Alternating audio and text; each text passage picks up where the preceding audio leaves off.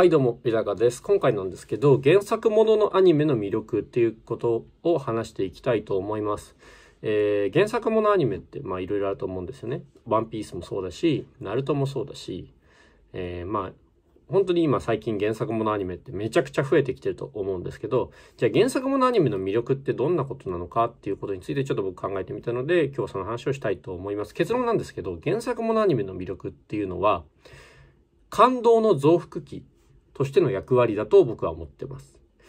どういうことか説明しますね。原作ものっていうのは原作があるわけですよね。漫画、ないしは小説、ないしはゲーム。まあいろんな媒体あると思うんですけど、まあ今回は漫画に関して漫画っていうものを原作としたアニメの魅力に関してちょっと話をしていきたいと思うんですが、えー、基本漫画っていうのは、まあ、まず音の情報とかってないわけですよね。で、絵も動かないわけですよ。うん。で、まあ、情報はこの紙に書かれている、えー、文字と絵だけ。えー、それが漫画っていう媒体ですと。で、じゃあアニメにした時にこれがどう変わるかっていうと、まず脚本が若干変わることがありますと。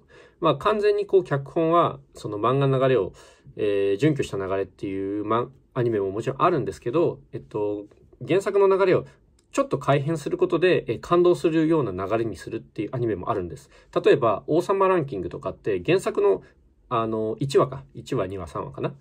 あの流れ、えー、若干違うんですよ、原作と。うん。アニメの、えー、方と。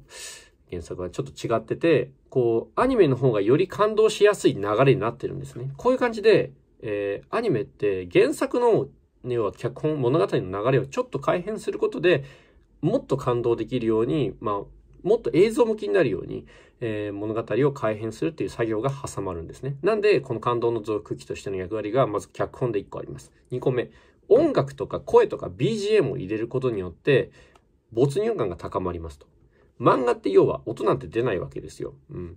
例えば、じゃあブルージャイアントとか漫画を読んでて、ふーってなるかってならないわけですよね。でも、音楽もののアニメとか特にそうですけど、えー、4月は君の嘘とかそうですけど、音楽とかってあるわけじゃないですか。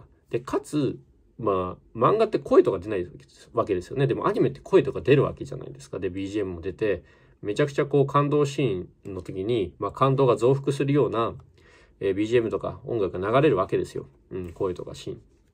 声とかね。なんで、あのー、これも、まあ、感動の増幅器としての役割を担っている、えー、ところだと思います。で、最後、映像美ですよね。えー、アニメの演出家みたいな仕事あると思うんですけど、まあ、映像としてそもそも飽きないカットを作ったりしますと。漫画っていうのは、まあ、大体こう、コマでこう進んでいくんですけど、アニメってまあ、一個の画面で、うん、まあ、ずっとこう進んでいくわけですよね。要は漫画だとこうコマの大きさを調整できるからアニメってまあ調整できないわけですよ。なんで演出でこうなんだろうな映像としてそもそも飽きないように作られていくわけですよね。はい。で、しかもこうめちゃくちゃバトルシーンとかはまあ、見せ場なんでもう飽きないようにもうすごい作が凝ってたりするわけですよ。うん。まあこういう感じで原作もののアニメの魅力ってのはまあ、脚本をちょっと変えて、えー、感動するようにしたり、音楽こう BGM を入れて感動するようにしたり、映像美で感動するようにしたりして、こう原作の感動するところをもっと感動するように増幅させる機会なんですよ。うん。まあ、こんな感じで、えー、アニメの魅力は、まあ、作られてる。で、感動の増幅器としての役割を担っていると、まあ、僕は思ってます。はい。えー、以上ですかね。こんな感じで、あの、エンターテイメントに関するお話とか、エンターテイメント業界に関する話を、まあ、定期的に発信していくので、よかったらチャンネル登録の方よろしくお願いします。あと、この動画がいいなと思ったら、えー、高評価悪いなと思ったら、低評価の方よろしくお願いいたします。ではまた。